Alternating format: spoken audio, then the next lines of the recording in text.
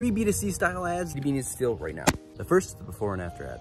It's actually one of my favorites because it's what your product's supposed to do, right? Pretty simple. It's a side-by-side -side comparison of what the person feels before your product and after. This could be how much time they save, money they save, the classics. But maybe it's about hitting their growth goals, getting their next hire faster. Maybe it's hitting your next funding round. So many different ways to look at it, but it's essentially showing how the person, not just the, the company you're selling to, the person will feel before and after your product. Second is the founder. Liam, I think that's Liam Maroney. Liam, uh, you want some fruit? Biggest problems with B2B. I think he's just busy. He, he knows who I am. He's not ignoring me. Second is the founder story.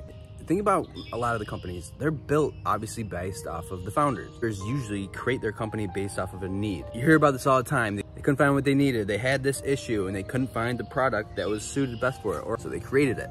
There's a reason so many companies are being built off of just posting on LinkedIn from the founders because you can tell a story. It comes off different when it comes from the founder, the person who started the whole company for a reason. The founder story is very important because it they are oftentimes their buyer, and they're usually gonna be the expert.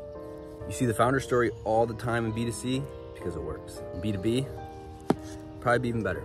The third is us versus them ads. A lot of different ways to do this. You could come at right at them. You can go DocuSign versus PandaDoc, and make, you can even do it in a style that's funny, and you can make it a whole thing. Or you can do a lot of companies want to do because they don't want to just go be very confrontational and just go right at a competitor. So you, what you could do is the, the us, so our features, our benefits, our logo, and them. So it's all the competitors technically. And if you do want to call out a specific one, you can make it look like their logo, but blurred out. So it's kind of like an interesting take on it. B2C is usually 10 years ahead of B2B. So they've had 10 years of testing. These things work. There's a reason. You see them all the time.